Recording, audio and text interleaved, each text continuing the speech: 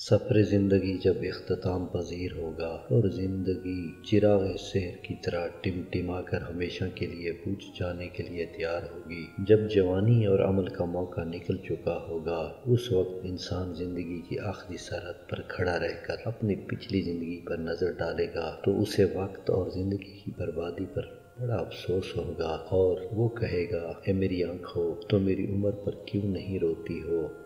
मेरी उम्र मेरे हाथ से बिखर गई और मुझे इसका एहसास भी ना हुआ। जब मैं साठ साल से तजावज़ कर गया, फिर भी मैंने मरने की तैयारी ना की तो अब मेरे लिए कौन सा उज़र रह गया? मैंने इस हाल में ज़िंदगी बसर की।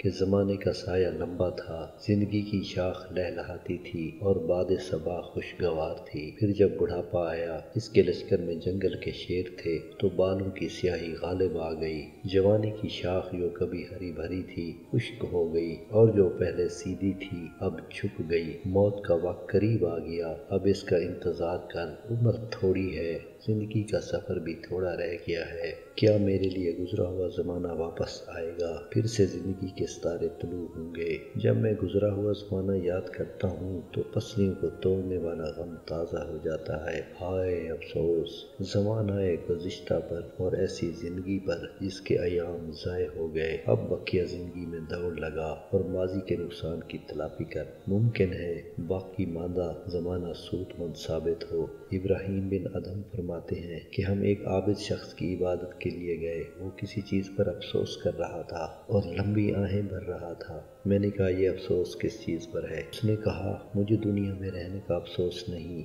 मुझे अफसोस है उस रात पर जिसमें मैं सो गया और अल्लाह के सामने खड़ा नहीं हुआ और इस दिन पर जिसमें मैंने रोज़ा नहीं रखा और उस घड़ी पर जिसमें मैंने अल्लाह ताला की याद से गफलत बरती। अबू मोहम्मद अजली रहमतुल्लाह फरमाते हैं कि मैं एक शख्स के पास गया, वो मरजुल मौत में मुबतला था। जब मैं उसके पास गया तो वो अफसोस के साथ मुझसे कहने लगा सखरत दुनिया जहाबत अयामी दुनिया मेरे साथ मज़ाक करती रही हती कि मेरी ज़िंदगी के तमाम दिन गुजर गए।